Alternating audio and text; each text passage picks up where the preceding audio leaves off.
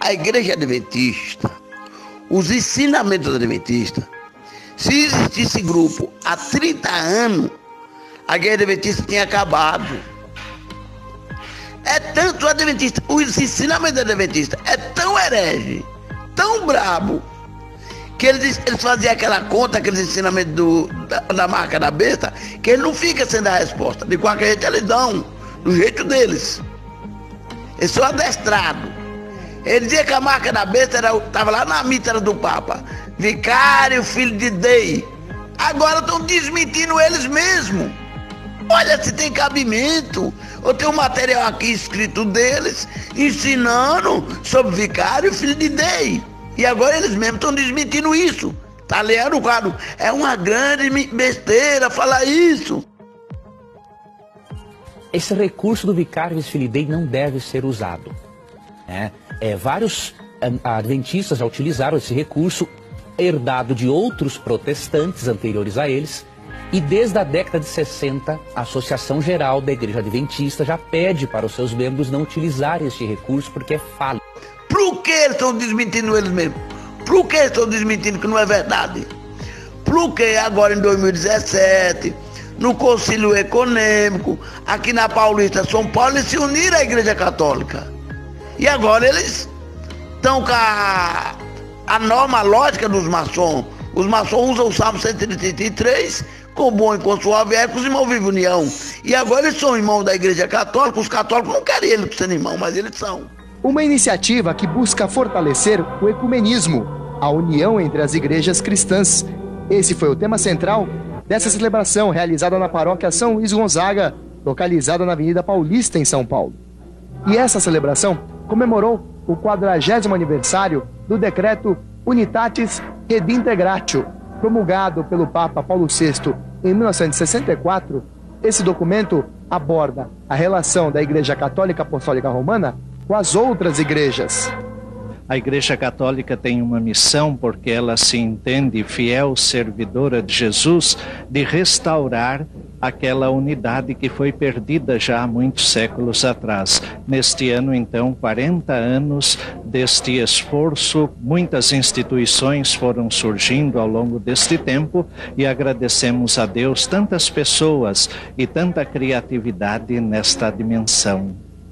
E eu vejo isso como uma grande esperança, porque a única coisa que resolve no mundo é a união entre todos, a começar a união entre nós cristãos. A celebração ecumênica realizada na paróquia São Luís Gonzaga, como não poderia deixar de ser, contou com a presença de representantes de outras igrejas, irmãs da Igreja Católica Apostólica Romana. A unidade entre os membros, entre o corpo de Cristo é muito importante.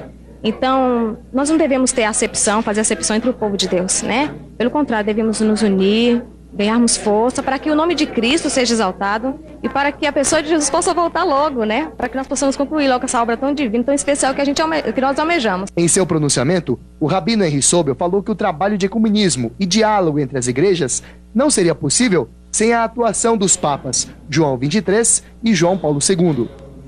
Durante a celebração, Diversos atos representaram a união, a paz e a luz que ilumina as igrejas, como a água perfumada que banhou as mãos dos participantes. É a suavidade e o odor da paz em vez da brutalidade e da carnificina da guerra.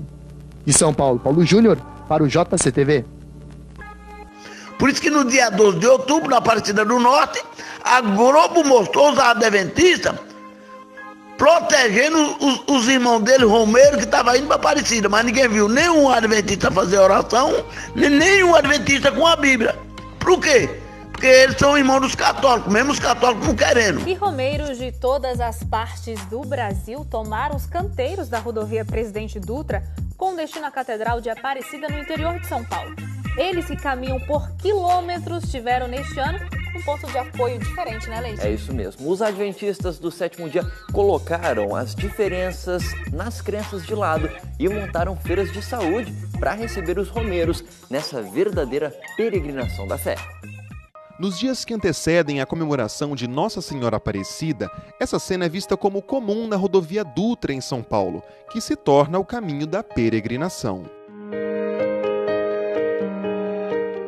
A fé que move a gente fazer essa caminhada, não é longe, mas prazerosa. É, começa, a gente chega na Basílica, sai lágrima dos olhos e, e você não vê a hora de chegar novamente o próximo ano para a gente não estar tá aqui.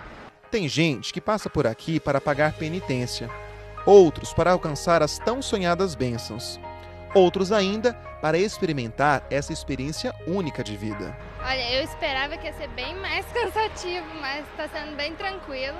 E as histórias nessa rodovia que liga São Paulo ao Rio de Janeiro são muitas. Segundo a concessionária que administra a Via Dutra, são esperados cerca de 8 mil peregrinos que vão passar por aqui até a Catedral de Nossa Senhora Aparecida. As graças alcançadas já podem ser vistas no meio do caminho. A exemplo dessa feira de saúde que os adventistas do sétimo dia montaram na assistência aos romeiros católicos.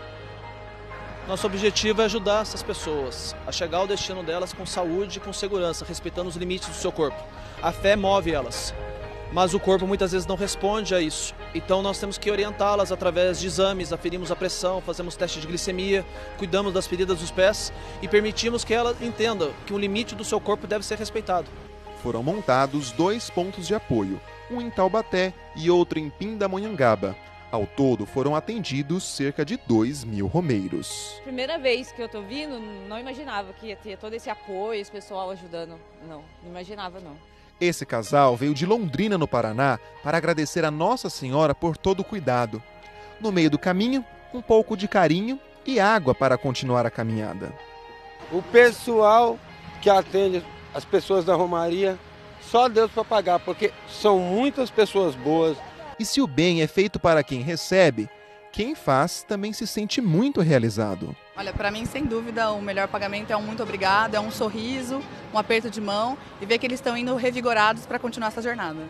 E é nesse encontro de amigos e irmãos, com carinho e muito amor recebido, que os romeiros seguem o seu caminho da fé em direção à Aparecida.